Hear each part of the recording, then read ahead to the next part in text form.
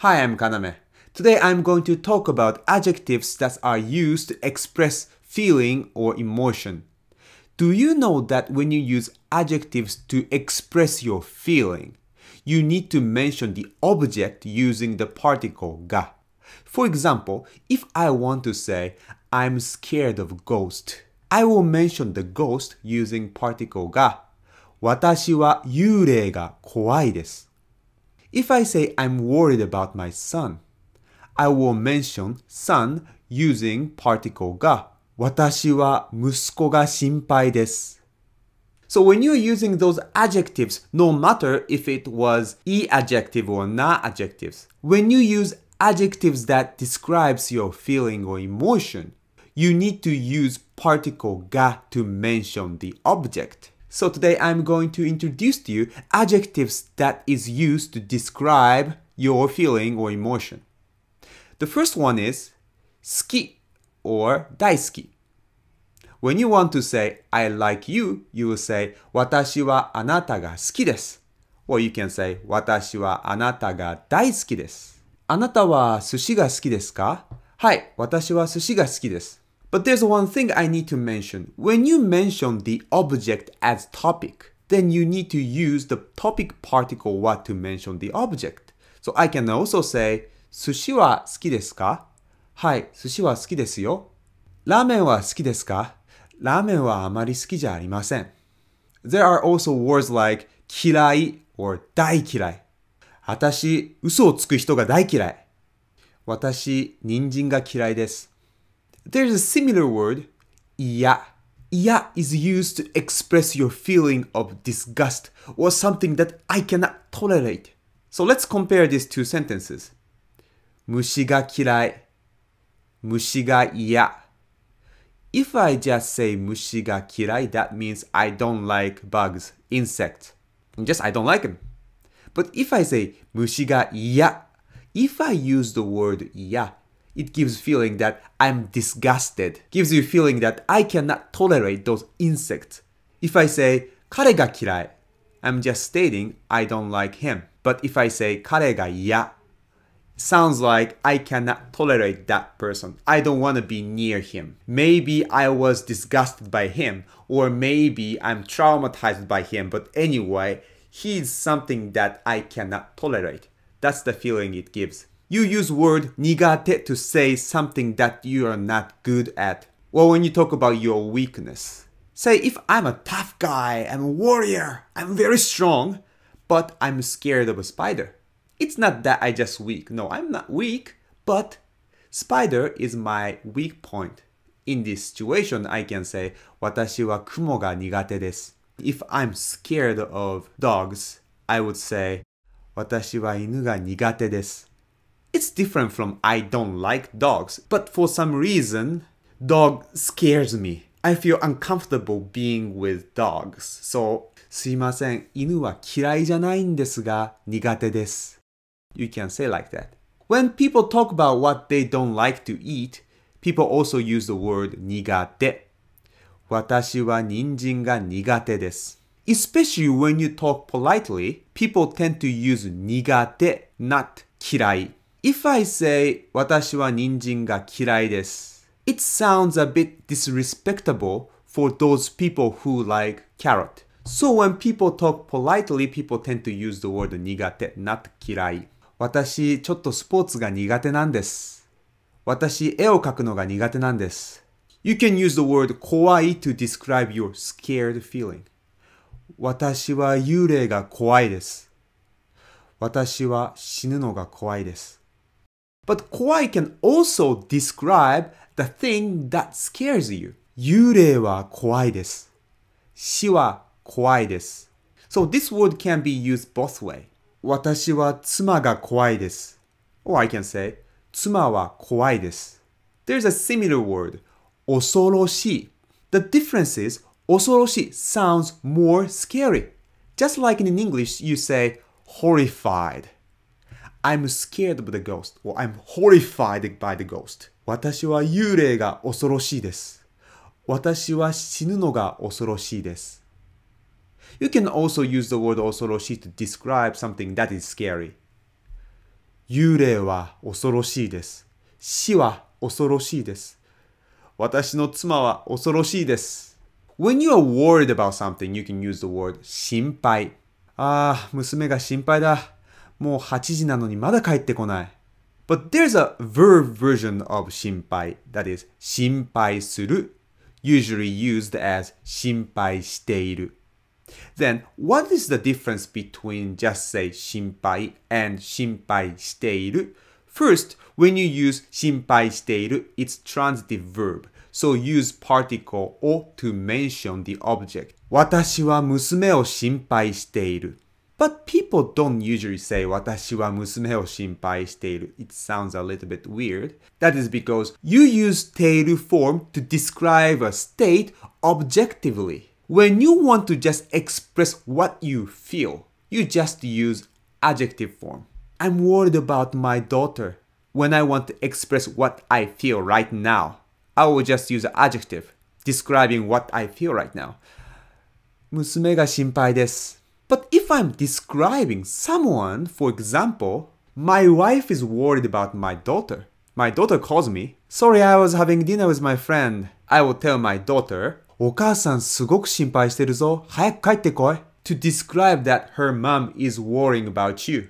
So the difference is when you just use adjective, you're just describing what you feel right now. But when you use ている, it's more about objectively describing state of someone worrying about something. お母さんお前のこと心配しているぞ。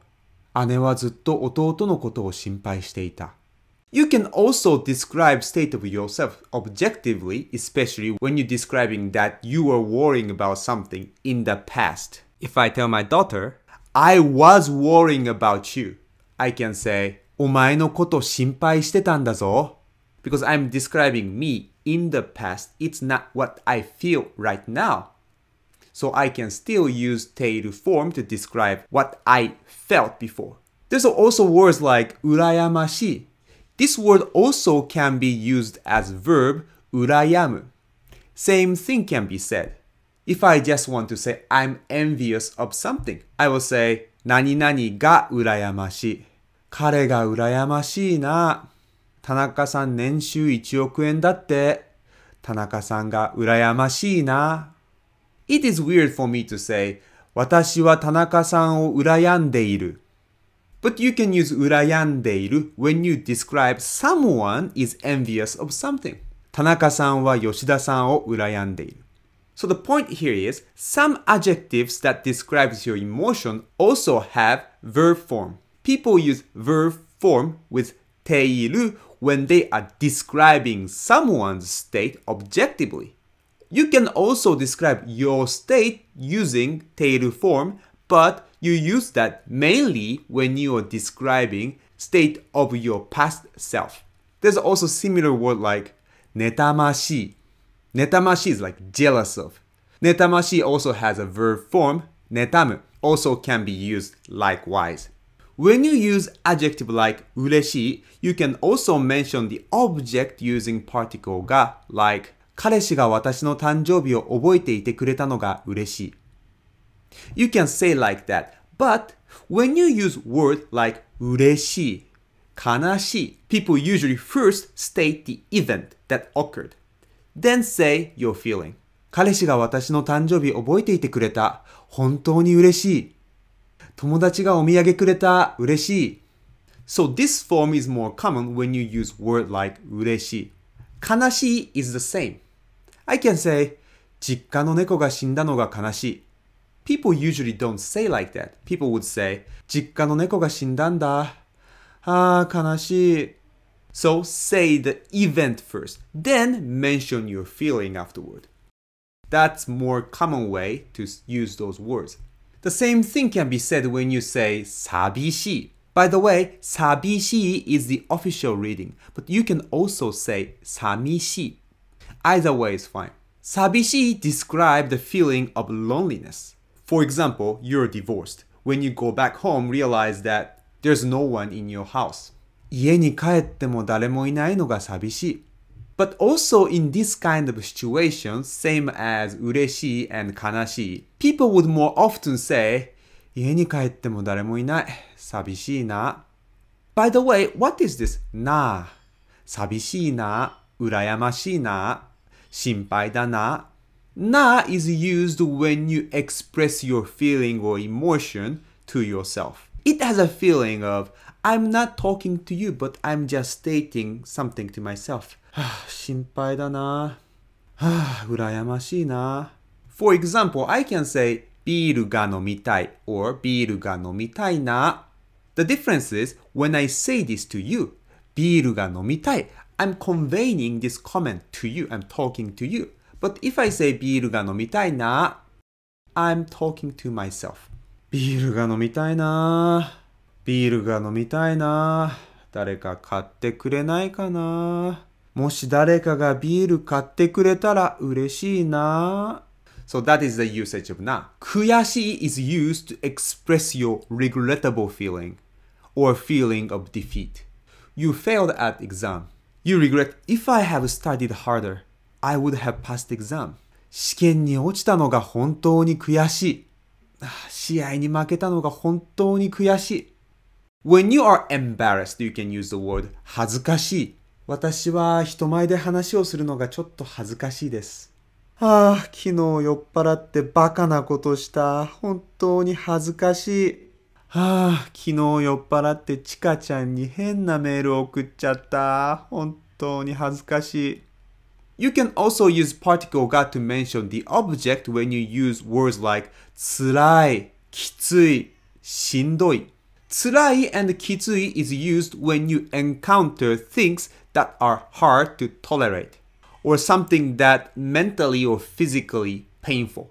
I can say 仕事が辛い、仕事がきつい to say, ah, working is so hard, hard to tolerate and it's painful. しんどい is more like tiring. 仕事がしんどい is like, ah, working is so tiring. So for example, if I say, my girlfriend dumped me, and if I say, 辛い or きつい, I'm maybe talking about mentally intolerable. Ah, she dumped me. It's so hard to accept this. In this case, you can say, 精神的に辛い、精神的にきつい。精神的 means mentally. But if I say しんどい it means it's so tiring. Oh, she dumped me. It's so tiring. So it has different feeling. You also use particle ga when you talk about sensation, like itai, kayui, shibireru, kayui. In this situation, you also use particle ga to mention the part you feel. People usually don't use particle wa when they mention the part they feel the pain or itchy. People don't say atama wa itai desu, kubi wa kayui desu. It's weird. You can also use the verb しびれる like that. When you eat some Sichuan mala stuff and your tongue feel numb, people will say 舌がしびれる or 舌がしびれた when you were sitting too long and your legs feel numb. 足がしびれた When you want to say I want something, you use the adjective 欲しい. When you use the word 欲しい, you also mention the object using particle が誕生日何が欲しいうーん、スイッチが欲しい。ああ、お金が欲しいな。You can also use particle が when you use tai form of transitive verb. ビールが飲みたいな。寿司が食べたいな。But you need to be careful. You use が only when you use tai form of transitive verb. When you want to say, oh, I want to go to Disneyland. you don't say, 私はディズニーランドが行きたいな. You cannot say that. Because 行く is intransitive verb. So you mention the destination using particle ni or え。ディズニーランドに行きたいな. Words like 会う is also the same. You don't say 彼が会いたいな。You need to say 彼に会いたいな。So you need to be careful about this. So the last word I'm going to introduce to you is koishi. Koishi has meaning like miss in English. I miss you, I miss her. But people usually don't use this word when they say I miss you. Then when do they use this word? People usually use this word when they want to say, oh, I miss some food. I miss my homeland. I miss my past. When I was in the US, I missed sushi so bad. So I would have said, Sushi ga koishii na. Or I can also say, お母さんが作った料理が恋しいな。Or if I miss Japan, I can say, 日本が恋しい. Now I'm in Japan. If I want to say, I miss those time when I was in America, I can say, アメリカにいた時間が恋しい. People usually use 恋しい like that. When they want to say, I miss someone, they don't usually use the word koishi. I miss you, babe. Ah, uh, pe Japanese people won't say anata ga koishi yo, baby. Ah, nah. What do people use when they want to say I miss someone? People usually use the word aitai. Calling a girlfriend, Yoko, omae ni aitai yo. Papa, papa ni aitai. So in Japanese, when people want to say I miss someone, you use the word aitai, not koishi. I mean, you can use koishi. It's not you cannot use. It's just that people usually don't use this word when they want to say they miss someone. There's a also verb version of this word. koisuru. Koisuru is different from koishi. You use koisuru when you are in love with someone. I'm in love with Tanaka. 私は田中に恋してる。弟はミキちゃんに恋してる。To say someone is in love with someone. So the verb form koisuru is different from the meaning of koishi. So that's it for today. 皆さんが恋しいです。いや、